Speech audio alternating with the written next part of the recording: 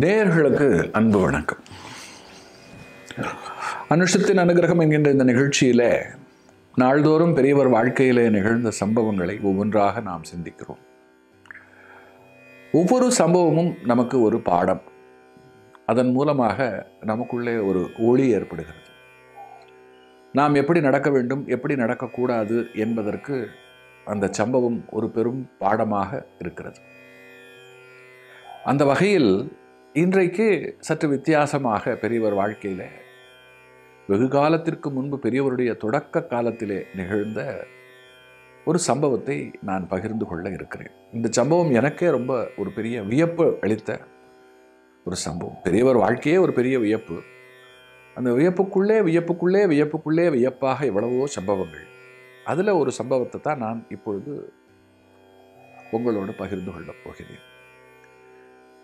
பெரியவரை பற்றி சொல்லும் பொழுது அவர் ஒரு மகத்தான ஞானி என்று அவரை சொல்லாதவர்கள் கிடையாது. இன்றைக்கு இந்த சமுதாயத்தில் பலவிதமான தன்மை கொண்ட மக்கள் இருக்கிறார்கள். பல மதத்தவர்கள் இருக்கிறார்கள். பலவித நம்பிக்கை கொண்டவர்கள் இருக்கிறார்கள். பலவித நம்பிக்கை முறைகளை வழிகளை பின்பற்றுகின்றவர்கள் இருக்கிறார்கள். அவரவர்களுக்கு அவரவர்கள் பாதை உயர்ந்தது சிறந்தது.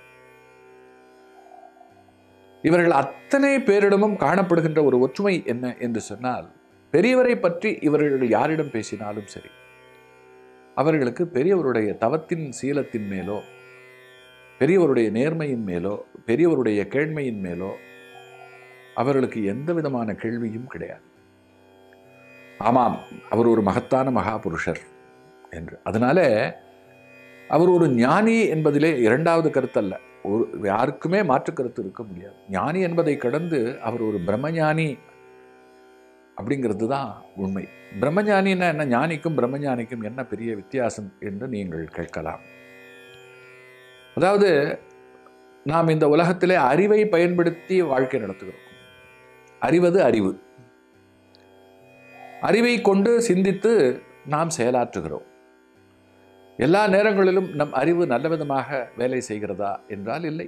நம் கல்விக்கு ஏற்ப நம் அனுபவத்திற்கு ஏற்ப நம்மை சுற்றி இருக்கின்றவர்களுக்கு ஏற்ப நம்முடைய அறிவு அதனுடைய கடமையை செய்கிறது. சில நேரங்களிலே அறிவு தோற்று போகிறது தவறு செய்து விடுகிறது திருத்தி கொள்ளுகிறது.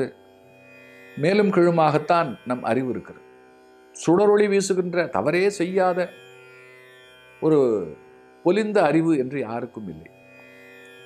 அடுத்து கற்றது கைமண் அளவு தான் எவ்வளவு படித்தாலும் எவ்வளவுதான் அறிவுடையவனாக இருந்தாலும் நாம் அறிந்து கொள்ள வேண்டியது என்பது நிறையவே எப்பொழுதுமே இருக்கிறது.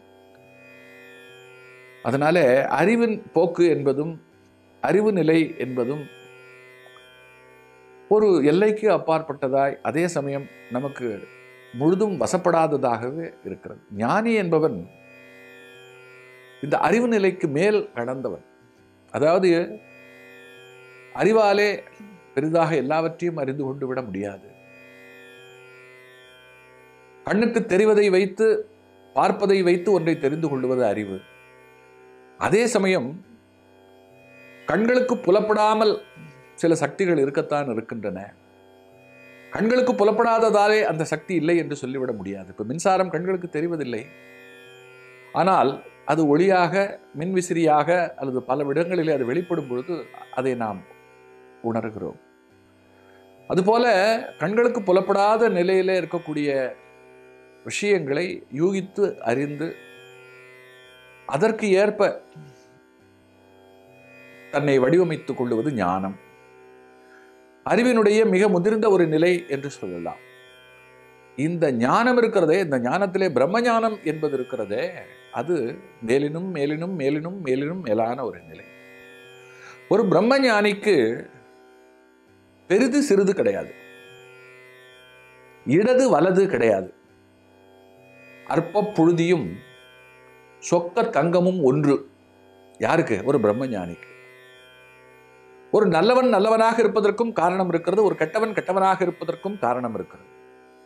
அதனால மிக சமமாக பார்க்கின்றவன் ஆசைகளை அறவே விட்டுவிட்டவன் தேவைகள் எதுவும் இல்லாதவன் முழுவதுமாக தன்னை வென்றவன். இவன்தான் பிரம்மஞானி. இப்படிப்பட்ட பிரம்மஞானி சொல்வதெல்லாம் நடக்கும். மாற்றி சற்று சொல்லட்டுமா? நடப்பதைத்தான் சொல்லுவார். பிரம்மஞானிகளுக்கு நமக்கு நிறைய முன்னுதாரணங்கள் இருக்கிறது. பிரம்மாவனுடைய நான்கு புத்திரர்களே ஒருவர் சனத்குமாரர். அவர் ஒரு பிரம்மஞானி. அவர்தான் சிவபெருமானுக்கு புத்திரனாக முருகனாக அவதாரம் எடுக்கிறார். அடுத்து நாம் பார்க்க சமகாலத்தில் அபிராமி பட்டர். அவர் ஒரு பிரம்மஞானி. அதனால தான் அமாவாசை என்று நிலவு வரும் என்று சொன்னார் வந்தது. ஏன்னா, அவர்கள் எது சொன்னாலும் நடக்கும் பலிக்கும். அந்த வகையிலே நம்முடைய மகா பெரியவரும் ஒரு பிரம்மஞானி என்பதற்கு சாட்சியாக சான்றாக ஒரு சம்பவம். நம்முடைய பெரியவரும் மகாத்மா காந்தியும் ஒருமுறை சந்தித்துக் கொள்கிறார்கள். ஆயிரத்தி தொள்ளாயிரத்தி முப்பதுகளிலே பாலக்காடு கேரளாவில் இருக்கக்கூடிய பாலக்காட்டிலே இந்த சந்திப்பு நடக்கிறது.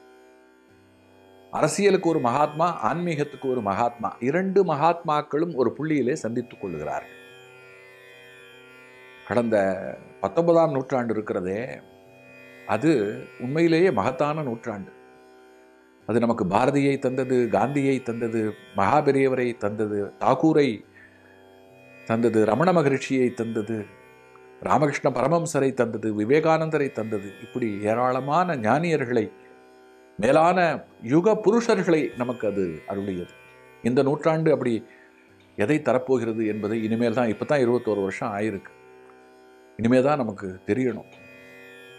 அந்த வகையில் அரசியலில் சிறந்த ஒரு மகாத்மாவும் ஆன்மீகத்தில் உயர்ந்த மகாத்மா இரண்டு பேரும் பாலக்காட்டிலே சந்தித்துக் கொள்ளுகிறார்கள். அப்பொழுது ஸ்ரத்தானந்தா என்கின்ற ஒரு ஹிந்துவை முஸ்லீம்கள் கொன்று விடுகிறார்கள். அப்பொழுது வந்து பெரிய இனக்கலவரம் ஏற்பட்டு கொண்டே இருந்தது. வெள்ளைக்காரர்கள் வந்து இனக்கலவரத்தை உருவாக்கி நிம்மதி இல்லாமல் நம்மை வைத்து கொண்டிருந்தார்கள். ஒரு சுதந்திர போராட்டம் என்பது மெல்ல தீப்பிடித்து எரிந்து கொண்டிருந்தது.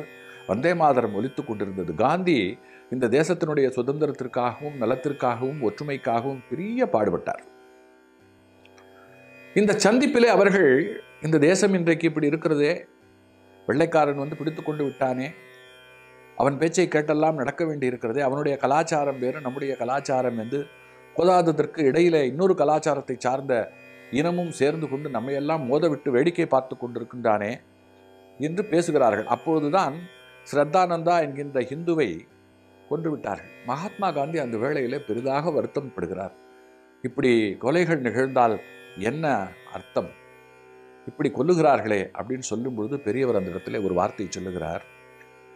இதில் என்ன இருக்கிறது? கலவரம் என்று வந்து விட்டால் ஹிந்துவாவது முஸ்லீமாவது. அங்கே வந்து மனிதனை கோபம் கைப்பற்றி கொண்டு விடுகிறது. கோபத்திற்கு மதமெல்லாம் கிடையாது. நாளையே உங்களை ஒரு ஹிந்து கொல்லலாம். அதனால் ஹிந்துக்களை நாம் மோசமாக கருதிவிட முடியுமா? இன்றைக்கு ஸ்ரத்தானந்தாவை ஒரு முஸ்லீம் கொன்றுவிட்டான் என்பதற்காக எப்படி முஸ்லிம்களை நாம் தவறாக கருதக்கூடாதோ அப்படித்தான் இது. இது ஒரு தனிநபர் செயல்பாடு.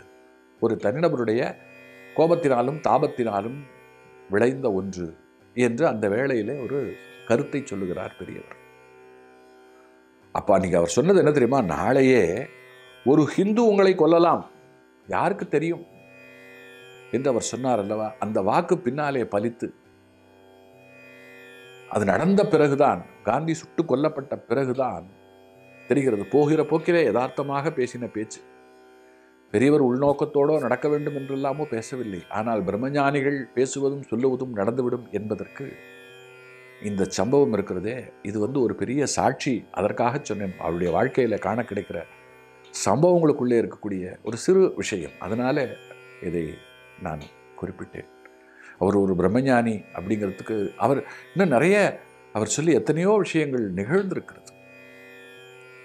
எத்தனையோ அற்புதங்கள் நிகழ்ந்திருக்கிறது. எத்தனையோ தான் இந்த நிகழ்ச்சியில் டெய்லி அணுக்க தொண்டன் ஏழை என்றும் பாராமல் வாழை என்றும் பாராமல் அவருக்கெல்லாம் வித்தியாசமே கிடையாது. எத்தனை பேருக்கு எப்படியெல்லாம் கை கொடுத்துருக்கிறார் என்பதைத்தான் இந்த நிகழ்ச்சியில் தினந்தோறும் சொல்லி கொண்டு வருகிறேனே இல்லையா? தொடர்ந்து சிந்திப்போம். காஞ்சி நகர் உரையும் காமகோட்டி குருவே காமகோட்டி குருவே காமகோட்டி குரு